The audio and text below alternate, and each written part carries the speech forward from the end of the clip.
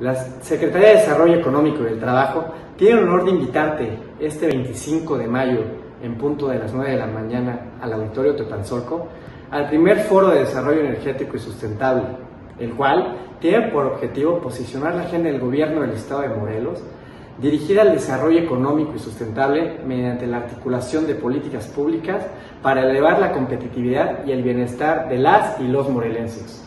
En este foro se impartirán tres conferencias magistrales y tres paneles.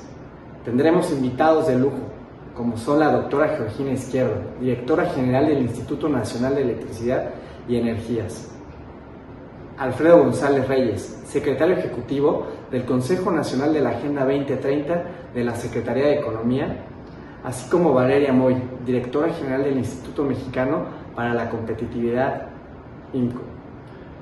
Contaremos con la presencia del secretario de Desarrollo Económico de la Ciudad de México, el doctor Gustavo Urquiza, entre muchos más. Los invitamos a estar pendiente de las redes sociales de la Secretaría para mayor información. Los esperamos.